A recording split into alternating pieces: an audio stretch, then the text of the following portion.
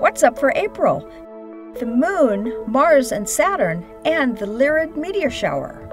Hello and welcome. I'm Jane Houston Jones from NASA's Jet Propulsion Laboratory in Pasadena, California. You won't want to miss red Mars and golden Saturn in the south southeast morning skies this month.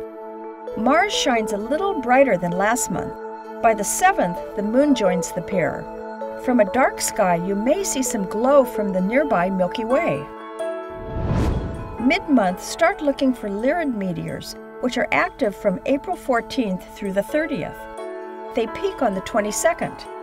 In the early morning sky, a patient observer will see up to more than a dozen meteors per hour in this medium strength shower, with 18 meteors per hour calculated for the peak.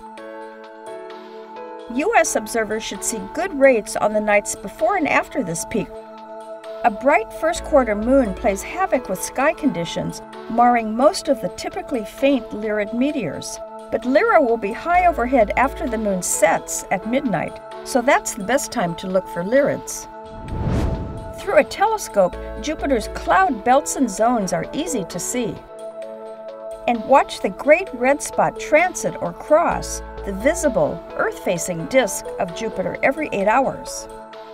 The Juno spacecraft continues to orbit Jupiter, and Juno's JunoCam citizen science team is creating exciting images of Jupiter's features based on the latest spacecraft data.